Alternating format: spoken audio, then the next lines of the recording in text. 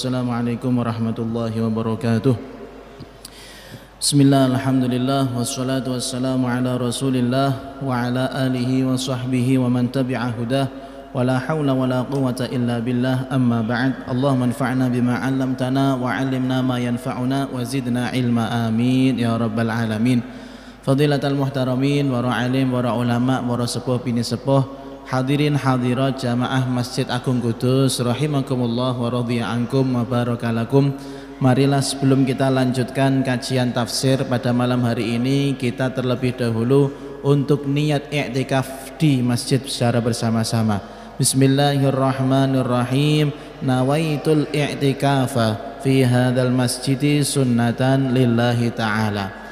Fa insyaallah untuk informasi selanjutnya malam Ahad yang akan depan kebetulan masih malam daripada malam tasyrik nanti kita uh, liburkan terlebih dahulu. Insya Allah ketemu lagi di minggu depannya lagi. Bismillah. Pada pembahasan sebelumnya kita masih berada di mukaddimah daripada dua dua ayat Allah Subhanahu wa taala yang berfirman innalladzina kafaru sawa'un 'alaihim tunzirhum la yu'minun. Yang artinya sesungguhnya orang-orang yang kafir itu sama saja bagi mereka. Apakah engkau wahai Nabi Muhammad memberikan mereka peringatan atau tidak diberi peringatan? Sama saja mereka tidak akan beriman. Lalu lanjutannya Allah Allah mengatakan penyebab kenapa mereka tidak akan pernah bisa beriman khatamallahu ala qulubihim. Allah telah mengunci hati mereka wa ala sam'ihim dan juga mengunci pendengaran mereka sehingga seakan-akan tidak bisa menerima hal-hal yang baik. Bungen tua mlebu kuping tengen metu kuping kiwa. Wa ala absarihim ghisyawah dan pada penglihatan mereka ada penutup yang tebal. Walahum adzabun azim. Dan mereka nantinya akan mendapatkan azab yang sangat berat.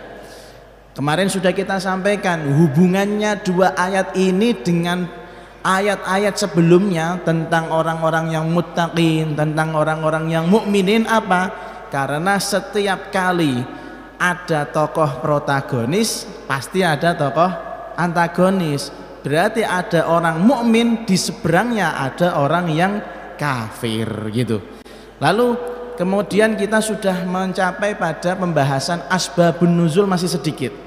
Asbabun nuzul itu secara harfiah adalah hal yang melatar belakangi turunnya ayat atau turunnya su surat. Lah dua ayat ini turunnya karena siapa?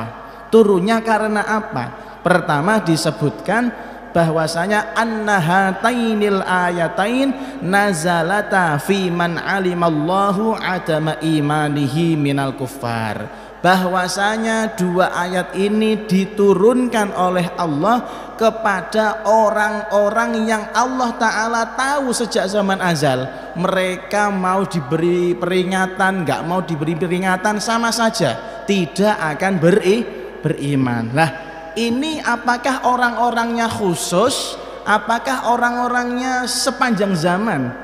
Mutlak. Maka di sini al Syekh Amin Al Harari mengatakan imma mutlakon. Bisa jadi ayat ini relevan untuk orang-orang yang punya sifat seperti ini. Jadi orang kafir itu kan selalu ada.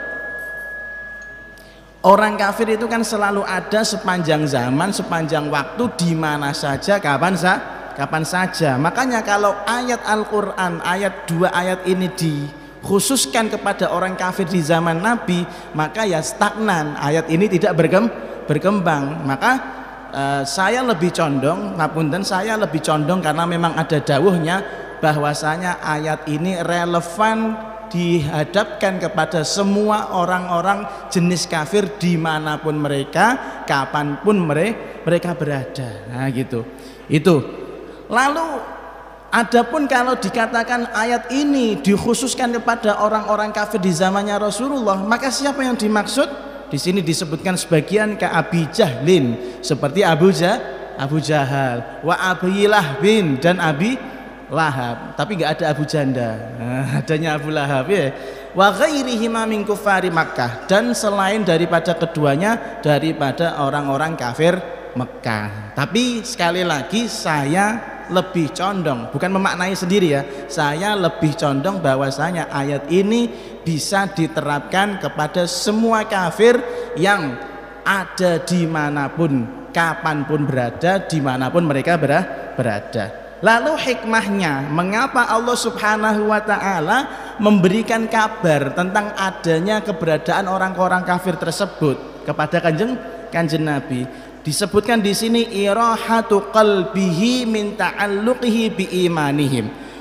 Fala yashtaghil bi hidayatihim wala ta'lifihim. Karena Allah Subhanahu wa taala menginginkan agar hati kanjeng Nabi tidak merasa susah, tidak merasa galau karena dakwahnya tidak diterima oleh orang kafir. Kemarin sudah kita sampaikan orang dakwah itu, orang ngajar itu kalau yang didakwai, kalau yang diajari tidak mau mendengarkan, kelihatan main HP aja itu rasanya bingung, rasanya sumpek kan gitu. Berarti uh, penyampaian saya tidak diterima kan gitu kan makanya itu kanjeng Nabi itu juga diberikan eh, kisi-kisi uh, wahai Muhammad walaupun kamu itu nabi walaupun kamu itu rasul kamu bawa mukjizat tetap ada saja orang yang nggak mau mendengarkan dak dakwahmu. Apalagi kita orang ya. Apalagi kita orang yang bukan siapa-siapa. Ya harus tahu kondisi dan situasi.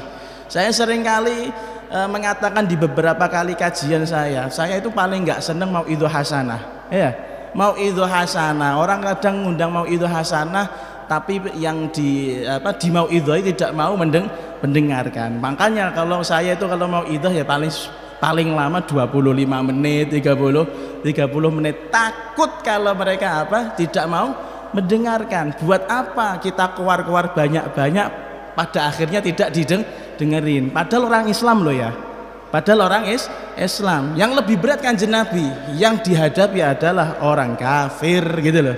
Yang dihadapi adalah orang-orang yang tidak tahu Allah, tidak mau kenal Allah. Nah pasti ada orang-orang seperti itu pasti ada di setiap zaman, di setiap tem tempat. Makanya akan Nabi dikasih tahu Muhammad itu tuh ada orang yang mau nggak apa yang nggak mau mendengarkan dakwahmu jadi kamu nggak usah susah tugasmu laksanakan saja urusan mereka nggak mau masuk Islam atau mau is, masuk Islam itu urusan belakangan. Karena kamu hanya diperintah untuk memberikan dakwah gitu kan? Sama sampai juga nanti santri-santri kalau sudah jadi ustadz nih ya pertama kali harus punya kesadaran ini.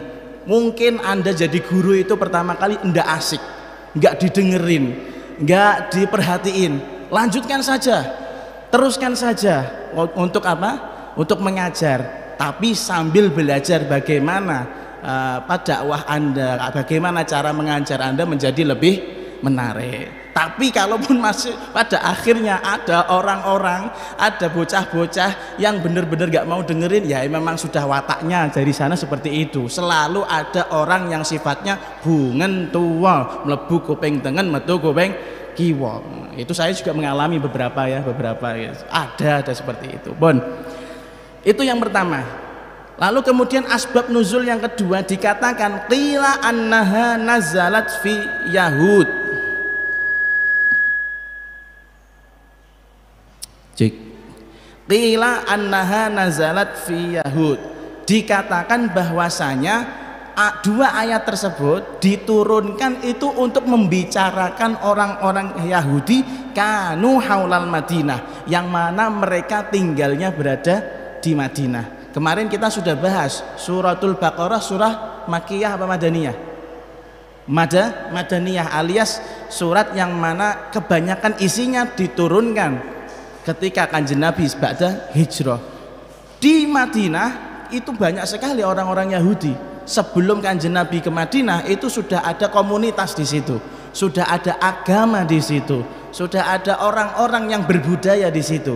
Nah salah satunya yang paling besar komunitasnya adalah komunitasnya orang-orang Yahudi nah orang-orang Yahudi ini mereka itu ya sama saja didakwai kanjeng Nabi ada yang bungen tua mlebu kuping tengen metu kuping kiwa Dan kata Imam Sayyidina Ibnu Abbas wakana yusammihim.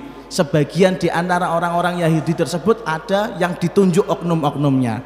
Sekali lagi, ini kok bisa tahu orang Yahudi ini munafik, orang Yahudi ini nggak bakal iman? Itu adalah kabar dari Allah Subhanahu wa taala. Mukasyafah. Nah, dari dari cara wahyu kita nggak bukan nabi bukan rasul pasti nggak bisa untuk mengetahui isi hati daripada orang kewajiban kita hanya menyampai menyampaikan lalu kemudian ada yang mengatakan qila nazalat fi qadatil ahzab min musyriki quraisy dikatakan bahwasanya ayat ini diturunkan untuk pemimpin-pemimpinnya orang-orang Quraisy nah jadi gembong-gembongnya orang-orang Quraisy, tokoh pemuka agamanya orang-orang Quraisy. Ya maklum saja lah ya. Kanjeng Nabi itu orang yang masih muda. Kanjeng Nabi itu orang yang masih ya masih masih muda lah. Kemudian beliau membawa ajaran yang berbeda dengan ajaran daripada leluhurnya orang Quraisy. Pasti sebagai pemimpin tokoh Quraisy itu merasa nggak terima dengan apa yang didakwahkan oleh Kanjeng Nabi apa yang diajarkan oleh kanjeng kanjeng Nabi ibarat ibarat kata misal ada kiai yang di counter attack sama santrinya. Yang disalah-salahkan sama santrinya Pak Yai non sewu itu eh, yang anda ajarkan keliru misalnya seperti itu. Yang ngomong anak kecil yang baru kemarin masuk yang baru kemarin balik ya pasti emosi lah sebagai Pak Yai kan gitu. Itu baru Pak Yai apalagi orang kah orang kafir apa? Pasti mereka itu dengki pasti mereka itu nggak terima. Mengakui kanjeng Nabi itu orangnya amin. Mengakui kanjeng Nabi itu orangnya jujur. Tapi untuk hal kepemimpinan mereka takut kalau dilengserkan oleh kanjeng kanjeng Nabi. Makanya eh, apa namanya kalau untuk santri-santri anda anda jangan sampai menjadi orang yang eh, langsung jadi pemimpin di masyarakat. Tafaqahu qabla antusau waduh belajar dulu. Sebelum kalian dijadikan pemimpin. Belajar belajar belajar belajar terus. Nek wis tua lagi ngajar jadi pemimpin. Mungkin sampean lah sampean Gus? Oh saya sudah tua ini. Saya sudah tua ya saya sudah tua. Walaupun baby face ini wajah-wajah imut-imut sebenarnya saya sudah tua. Sudah 50 tahun dikurangi dikurangi beberapa tahun. Sekali lagi kita sebagai anak muda kita sebagai nom-noman harus tahu adab harus tahu di diri. Wong kanjeng nabi yang bener aja nggak ada apa ada orang-orang gembong-gembong kuras yang nggak mau menerima dakwahnya kanjeng nabi. Apalagi kita. Kita ini siapa? Jangan menjadi anak yang jeruntal jeruntul masuk sektor sana masuk sektor sini pengen jadi imam pengen jadi khotib. Siapa kita ilmu kita seberapa? Amalnya seberapa? Mau sholat subuh masih kodo kan ngoten nggih? La ilaha illallah muhammadur rasulullah. Hati-hati hati-hati. Tapi urusan dakwah urusan ngajar kita bisalah memposisikan diri di tempat-tempat yang bisa diterima orang banyak. Kalau sampean-sampean yang masih kecil-kecil ini ngajar di apa namanya TPQ mungkin masih diterima ngajar di musola masih diterima. Tapi kalau anda langsung minta jatah oh saya sudah belajar di pondok selama enam tahun. Saya sudah diajari caranya khutbah saya minta khutbah lah ini kurang ajar namanya. Namanya kurang kurang ajar. Maka sekali lagi eh, ini ayat diturunkan kepada gembong-gembongnya orang Quraisy karena mereka takut kepemimpinan mereka apa? Direbut oleh kanjeng Nabi. Nah, gitu. Lalu kemudian Waqila uh, ini langsung loncat mawon ke yang nomor 6. Qila fi musyriki al-Arab Quraisy. Ayat ini diturunkan khusus uh, uh, umum kepada orang-orang musyrik khususnya Bani Quraisy. Karena Bani Quraisy itu ad, uh, adalah salah satu datuknya Kanjeng Kanjeng Nabi Quraisy itu salah satu datuknya kanjeng kanjeng Nabi. Harusnya kalau mereka punya saudara yang muncul menjadi pemimpin, yang muncul menjadi muallim, muncul menjadi nabi dan rasul, harusnya mereka mensupport. Tapi karena mereka tahu kanjeng Nabi itu yatim, kanjeng Nabi itu orang yang tidak berkeluarga kaya, makanya mereka menghina kanjeng kanjeng Nabi tidak terima dengan dakwahnya kanjeng kanjeng Nabi di sini ada pelajaran juga loh ya sebagai kiai selain pinter itu dibutuhkan dan fardu ain ya rodok ketok sugih barang ya buat lu Nah, rodok ketok sugih bareng ya perlu. Jangan cari bisaroh. Nah, jangan cari amplop. Nek diundang eh, tanggane sing sugih mangkat, pinggir tangga sing rapati iso mangan, ngundang rak gelem moro aja kayak ngoten niku lah. Lalu kemudian yang terakhir qila fil munafiqin. Yang terakhir katanya ayat ini diturunkan kepada orang-orang munafik.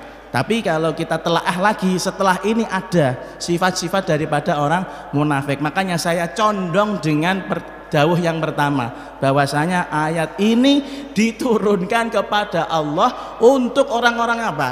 Yang di mana Allah mengetahui mereka tidak akan bermanfaat mau dikasih tahu mau dikasih dakwah atau tidak sama saja yakni tetap tidak ber beriman. Siapa mereka? Semua orang yang punya sifat itu di mana pun dan kapan pun mereka berada. Lalu kemudian yang unik ini, yang unik kanjeng Nabi sudah tahu loh ya. Orang-orang tersebut sudah disifati oleh Allah sebagai orang yang tidak akan beriman dengan dakwahnya kanjeng kanjeng Nabi. Kalau kita yang jadi nabinya, kalau kita jadi nabinya logikanya ngapain melihara orang-orang yang jelas-jelas kafir? Ngapain mereka dibiarin masih hidup? Doakan jelek aja sekalian biar mati-mati kan gitu kan? Ngerusak-ngerusak idonya kan gitu ini uniknya ya Allah ma hikmatu adami doa minan nabi sallallahu alaihi wasallam alaihim kenapa tidak pernah terdengar riwayat hadis cerita bahwasanya al kanjeng nabi itu tidak mendoakan jelek mereka kita tidak pernah mendengar ya kanjeng Nabi mendoakan jelek orang-orang kafir. Sudah jelas mereka mati dalam keadaan kafir. Sudah jelas mereka didakwai nggak didakwai sama sama saja. Kok nggak didoakan jelek sekalian? Biar tumpes. Kalau kita jadi nabinya kan gitu, emosi ya, biarin mati ya mati, modar modar sisan kan gitu. Kenapa kita nggak pernah mendengar doa-doa jelek dari kanjeng Nabi untuk mereka? Dijawab uh, dari dari Syekh Amin Al Harari mengatakan gini, al hikmatu fi adami du'ai minhu alaihim ma'a ilmihi bi annahu yastahilu imanum annahu yarjul iman min dzurriyyatihim Anjeng Nabi tidak pernah mendoakan jelek, tidak pernah mendoakan kepada orang-orang kafir yang jelas-jelas tidak akan beriman jelek. Kan ya? Kanjeng Nabi tidak pernah mendoakan mereka jelek. Kenapa? Karena kanjeng Nabi masih berharap ya yang nakal mungkin mereka tapi anak-anaknya nanti semoga ada orang-orang yang menjadi orang iman. Dan ini ter, terbukti nyata. Ketika kanjeng Nabi eh, dakwahnya tidak diterima di Quraisy di Mekah lalu kanjeng Nabi dakwah ke mana Taif di Taif tidak menerima Orang-orang Taif tidak menerima kedatangan kanjeng Nabi bahkan melempari kanjeng Nabi, melukai kanjeng Nabi sampai sampai sampai para malaikat tidak terima. Malaikatul Jibal, para malaikat yang menunggu gunung-gunung nggak terima kanjeng Nabi digutukan. Nah itu kalau nabinya kita, beda cerita. Orang-orang Taif angkut Gunung Muria pindah tumpes saja orang kudus kota. Kan misalnya seperti itu. Enggak kan Nabi tidak seperti itu. Apa yang dikatakan? Allahumma di qaumi fa innahum layak lamun ya Allah mereka itu kaum saya mereka bagian dari saya berikanlah mereka hidayah karena mereka tidak tahu sejatinya saya ini siapa. Masya Allah. Jadi kita tuh kalau sudah di posisi yang seperti itu ya dakwah tidak diterima atau bahkan kita dakwah kita ngajar kita sebagai kiai kita sebagai tokoh agama itu pasti ada hatersnya. Oh nggak kira-kira kalau haters itu fitnahnya. Bukan hanya fitnah menciptakan kebohongan tapi fitnah yang isunya seperti hujatan, hujatan yang dohir maupun hujatan yang yang tidak doh, bukan batin loh ya, hujatan yang tidak. Dohir boh itu dengan media san, santet, sihir. Itu ada, ada ada saja seperti itu. Kalau kita tahu perlakunya biasanya itu emosi, oh si nyantet kuloniku misalnya kan gitu kan.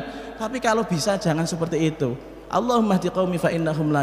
Itu kata Rasulullah. Ya mereka nggak tahu nggak kenal saya. Saya doakan mereka yang terbaik. Kalau mereka nggak mau iman ya sudah.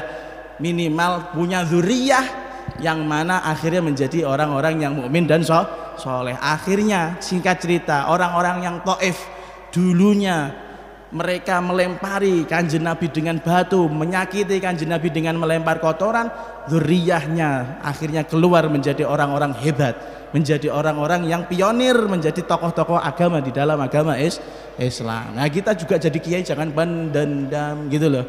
Kalaupun mati, kalaupun sampai mati, naudzubillah ya. Kalaupun sampai mati karena fitnah, karena dicoba, karena dihujat habis-habisan sama kaum, maka mati kita adalah mati karena membela agama Allah Subhanahu wa taala. Enggak rugi, enggak rugi gitu loh. Lu mati dalam jalan Allah loh ya. Angel loh. Anda bisa memastikan diri Anda mati dalam keadaan sholat. Anda bisa memastikan diri Anda mati dalam keadaan baca Quran.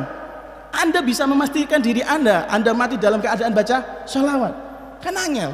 Maka yang paling mudah itu kita mati dalam keadaan masih mengajar. Saya teringat betul Mbah Ma'ruf Irsyad beberapa hari sebelum beliau garah lalu kemudian meninggal di menara. Waktu itu beliau menghentikan seperti kata-kata terakhir kata beliau, "Kulo niku boten gadah amal soleh nopo-nopo. Saya ini nggak punya amal soleh apa-apa yang saya banggakan di sisi Allah, tapi kulo seneng ngajar. Tapi saya apa? Suka mengajar. Saya berharap dengan saya mengajar ini adalah Allah Subhanahu wa taala berkenan menerima amal ini Masya Allah paling enak tuh ngajar lah paling enak ngajar sama bela belajar enak kita nggak minta istighfar kita nggak minta ampunan sama Allah. Didoakan sama malaikat didoakan sama hewan-hewan didoakan sama semua makhluk yang ada di muka bumi ini selain manusia dan jin enak gitu. Makanya eh, apa namanya usahakan kita kalau mati dalam keadaan berilmu dan mengamalkan ilmu atau mengajarkan ilmu. Bon Qala ta'ala innal ladzina kafaru sesungguhnya orang-orang yang kafir. Orang kafir ini siapa sih?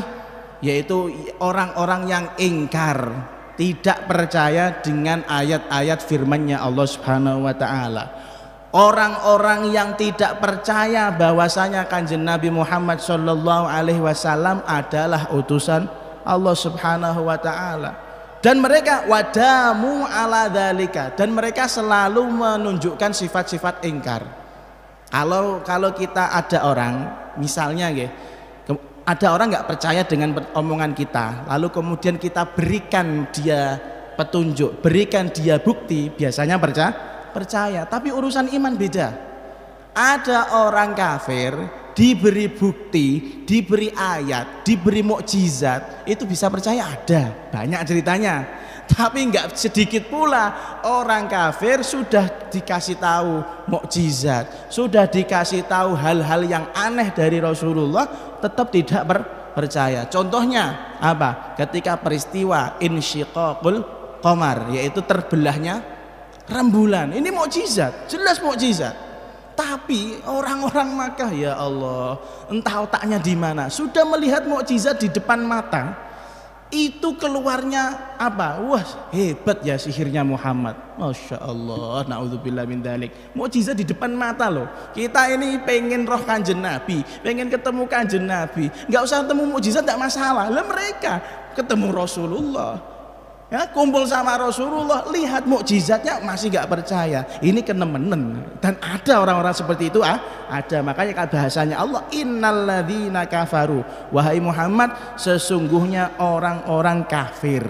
Lah yang menjadi pertanyaan mereka itu kafir sedemikian rupa itu gimana sih? Sebabnya apa apa yang menjadikan mereka itu nggak percaya? Sudah lihat mukjizat sudah lihat keanehan sudah melihat hal-hal yang luar biasa dari Rasulullah kok masih tidak percaya dengan Rasulullah? Pertama inadun lil haqqi ba'da ma'rifatihi. Mereka sebenarnya tahu kan Nabi itu benar tapi memang dasarnya suka menantang gitu loh. Nggak terima kalau kanjeng Nabi jadi nah Nabi. Itu ada. Jadi asasnya nan nantang ada yang kedua asasnya apa? Uh, i'radun an ma'rifatihi. Belum tahu tapi sudah dia nggak peduli, nggak mau tahu, paham nggak? Dikasih informasi ini loh ada nabi, alah nggak patean, alah nggak nggak ketertarik, saya nggak tertarik. Lah ini sama. Atau penyebab yang ketiga istikbaran anin nadhari fihi, sombong meremehkan kanjeng kanjeng Nabi. Makanya Syekh Amin Al-Harari mengatakan wal mu'riduna 'anil haqqi yujaduna fi kulli zamanin wa makan. Titik turatnya. Orang-orang yang sifatnya tidak percaya dengan apa yang dibawa oleh Rasulullah, baik firman Allah, baik syariat, baik mukjizat, mereka itu yujaduna fi kulli zaman. Tetap ada kapan pun di, kapan pun mereka berada wa makan dan di mana pun mereka berada. Makanya jangan aneh jangan aneh nge, kalau di tahun 2023 ini ada saja orang-orang yang tidak percaya dengan kenabiannya Nabi Muhammad Shallallahu Alaihi Wasallam. Karena sudah pak sudah ada nasnya gitu loh. Sudah ada orang-orang seperti ini sudah ada istilahnya apa? Tambeng gitu. Dikandani orang kan ngandel. Sumun bukmun umyun fahum layak kilun budek picek ya bisu. Layak kilun nggak punya otak. Nggak ngotak ya nggak ngotak. Makanya kita ini jadi orang jangan sampai punya sifat seperti ini. Nah, khususnya berhadapan dengan guru-guru kita.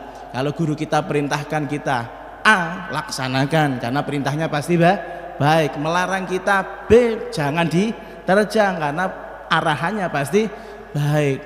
Apalagi guru dalam masalah agama. Ya kiai romo yai habaib.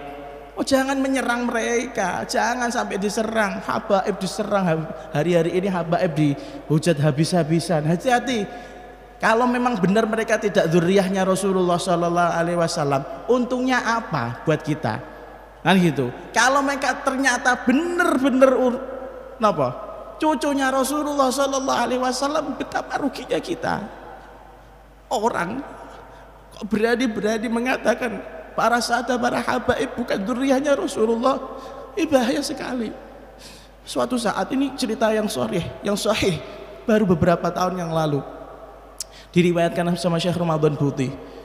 Ada seseorang suami istri yang satu Sayyid Habib yang satu Syarifah Kemudian sang Habib meninggal. Ketika meninggal, akhirnya sang istri terpaksa mau tidak mau harus mencari nafkah untuk anak-anaknya yang masih kecil-kecil. Tapi karena mereka adalah baitun nubuwah, mereka adalah orang-orang yang terkenal kalau itu adalah keturunannya Rasulullah Shallallahu Alaihi Wasallam Akhirnya sang Syarifah mau tidak mau keluar dari daerahnya, keluar dari kotanya mencari daerah lain yang sekiranya tidak kenal sama mereka. Lalu kemudian di daerah lain tersebut sang Syarifah melihat, oh ini ada Pak Kiai, ada orang alim. Kiranya kalau saya minta sama beliau, insya Allah gampang untuk diber, diberi. Akhirnya totok-totok, assalamualaikum, waalaikumsalam. Ada apa? Ketahuilah Pak Kiai, saya ini seorang syarifah. Saya ini adalah keturunannya Rasulullah Shallallahu Alaihi Wasallam. Dalam sekarang ini dalam keadaan ekonomi terhimpit. Kiranya panjenengan mau membantu kami. Semoga Allah membalas kebaikan panjenengan. Ya Allah, jawabannya tidak tidak terkira. Apa yang dikatakan Kiai tersebut? Apa buktinya kalau kamu itu cucunya Rasulullah Shallallahu Alaihi Wasallam? Apa buktinya kamu mengatakan kalau kamu itu cucunya Rasulullah Shallallahu Alaihi Wasallam? Seorang kiai bisa mengatakan seperti itu. Ketika tidak mendapatkan jawaban yang enak daripada kiai tersebut, akhirnya terpaksa sang syarifah pindah kepada orang yang terkenal bahwasanya orang itu adalah beragama Yahudi atau Nasrani. Yahudi atau Nasrani kemudian mengatakan saya adalah seorang syarifah keturunannya Rasulullah Shallallahu Alaihi Wasallam. Suami saya beberapa waktu lalu meninggal dan sekarang saya punya anak-anak yang belum makan. Kiranya Tuhan sudi untuk membantu kami. Apa yang dilakukan sama Yahudi tersebut? Ta'ali ta'ali ayo masuk masuk. Fadl silahkan masuk ke rumahku. Anggap saja ini rumahmu. Anggap saja semua pembantu yang ada di sini adalah pembantumu. Dirumati dirawat Hingga pada akhirnya suatu malam kiai yang menolak sang syarifah bermimpi. Bermimpi di kiamat. Dia bermimpi keadaannya sudah kiamat. Keadaannya itu sudah hari akhir, mau dihisap semuanya. Dan kita tahu bahwasanya di kiamat itu semuanya tidak bisa mengandalkan amalnya. Semuanya tidak bisa mengandalkan pangkatnya. Semuanya tidak bisa mengambil mengandalkan amal kesol kesolehannya. Mereka mengharapkan mendapatkan syafaat dari Rasulullah Sallallahu Alaihi Wasallam. Hingga pada akhirnya sang kiai tersebut di dalam mimpinya merasa bahwasanya bertemu sama Rasulullah Sallallahu Alaihi Wasallam. Lalu dengan pedenya dia mengatakan ya Rasulullah syafaati saya. Isfa'li syafaati saya. Karena saya adalah umat panjenengan. Jawabannya tidak terkira dari Rasulullah. Rasulullah mengatakan aina dalil Mana buktinya kamu itu umatku? Mana buktinya kamu ini adalah bagian daripada umatku? Lalu terbangun nangis gara-gara ingat kemarin nolak seorang syarifah malamnya mimpi ditolak oleh Rasulullah Shallallahu Alaihi Wasallam. Akhirnya pagi-pagi dia cari informasi tentang syarifah tersebut.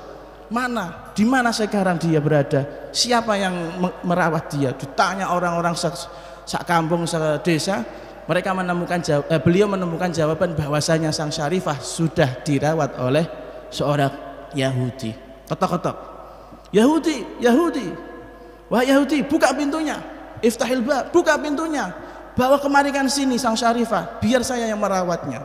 Dibuka pintu. La, tidak. Abadan la, tidak mungkin saya serahkan syarifah kepada kamu. Kenapa? Saya tahu, kata kata Yahudi, saya tahu semalam kamu mimpi kiamat, semalam kamu ditolak oleh Rasulullah Shallallahu Alaihi Wasallam. Lalu sekarang ini kamu datang ke rumahku, aku sudah dalam keadaan beriman kepada Allah gara-gara sababiyah barokah merawat seorang syarifah dan anak-anaknya. Maka yang mana seharusnya ini anugerah untuk cuma kamu, maka saat ini aku tidak akan rela memberikan anugerah ini kepada kamu karena ini adalah anugerah yang memang harus kujaga kuat-kuat. Ini pentingnya. Kalau kita ikut-ikutan ngapunten kita nggak punya ilmu kita nggak punya apa-apa kok sampai menafikan nasab seseorang apalagi itu nasabnya keturunannya Rasulullah Shallallahu Alaihi Wasallam. Muka kita mau ditaruh di mana? Jangan sampai kita ini nggak tahu asal usul kita itu siapa. Kita itu nggak tahu apakah orang tua kita? Ajdaduna orang-orang yang soleh kita gak tahu. Makanya tolong teman-teman saudara-saudara kalau ada yang berani komen tentang orang-orang yang diragukan nasabnya ke Rasulullah Sallallahu Alaihi Wasallam jangan ikut komen. Bahaya. Bahayanya nanti di akhirat. Kita ini nggak pernah mimpi ketemu Rasulullah. Kita ini nggak pernah melihat Rasulullah Kok berani-beraninya ada orang mengatakan duriyahnya kajian Nabi itu terputus. Oke kalau didalih karena mengatakan ada kajian ilmiahnya terserah. Tapi yang penting kita yang nggak punya ilmu jangan ikut komen, jangan ikut meng jelek-jelekan daripada orang-orang yang terkenal mereka adalah duriyahnya Rasulullah Shallallahu Alaihi Wasallam. Kita nggak punya ilmu kita nggak punya apa-apa. Kita mengharapkan syafaatnya Rasulullah Shallallahu Alaihi Wasallam. Semoga mugi-mugi kandi baru kayak majelis menikah kita semuanya termasuk orang-orang yang bisa ihtiram yang bisa menghormat kepada kajian Nabi dan dzurriyyahnya karena Allah Subhanahu wa taala itu ngedikan wal mawaddata fil qurba. Sayangilah keluarganya kanjeng kanjeng Nabi Ya Allah, ya Allah. Nauzubillah min dzalik. Ala kulli hal kita jadi orang jangan sampai menjadi orang yang mu'anid, jangan sampai menjadi orang yang membantah, jangan menjadi orang yang menantang kebenaran hak dari Allah dan Rasulullah sallallahu alaihi wasallam. Karena dalam suatu riwayat ter terkait masalah nasab Rasulullah dalam suatu riwayat kanjeng Nabi itu ngendikan bahwasanya Al-Qur'an dan keturunannya itu akan berjalan bersama beriringan ila yaumil qiyamah hatta yarida alayyal haudha sampai keduanya nanti bisa sampai di dalam haudul kautsar di hadapannya Rasulullah Shallallahu Alaihi Wasallam. Dari sini saja sudah jelas bahwasanya oh berarti keturunannya Rasulullah itu ada gitu loh. Hati-hati sama orang-orang yang nggak percaya dengan nasab daripada zuriyahnya Rasulullah Shallallahu Alaihi Wasallam. Ngapunten ke mana-mana hati-hati pun. Kita kembali lagi pada pembahasan. Innalladzina kafaru. Wahai Muhammad orang-orang yang kafir orang-orang yang tidak tidak akan apa menerima dakwahmu yang jelas-jelas mereka tidak akan menjadi orang mu mukmin. Sawaun alaihim a'andzartahum baik kamu mau mengingatkan alam tundirhum ataupun tidak mengingatkan la yu'minun. Sama sekali mereka tidak akan ber, beriman. Lah kenapa di sini uh, dikatakan di dalam uh, Syekh Muhammad Al-Haruri mengatakan wa inna maqtasara 'alal indari duna tafsir dalam dakwah itu ada dua metode yaitu metode mengingatkan dengan memberikan kabar-kabar yang menakutkan neraka dan lain-lain dan yang kedua memberikan kabar-kabar bah bahagia. Sebagai nabi itu basyiran wa nadhira. Memberi kabar bahagia memberi kabar tentang ancaman. Lah kenapa di sini Allah Subhanahu wa taala tidak mendahulukan kata-kata yang membahagiakan mereka. Mengiming-imingi mereka masalah adanya sur surga. Langsung mengatakan mereka tuh nggak bakal iman. Berarti kan menakut-nakuti. Kenapa? Di sini disebutkan sama Syekh Amin Ar-Harari li'annahum laisu bi ahlil bisyarah aslan. Yang pertama mereka tidak pantas mendapatkan kabar bahagia tentang kenikmatan surgawi karena memang bukan ahlinya bukan penduduk penduduknya nggak punya KTP surga ngono loh walaupun orang tuanya Nabi Adam adalah orang sur surga. Ya karena dia nggak berhak sudah dideportasi dari surga. Au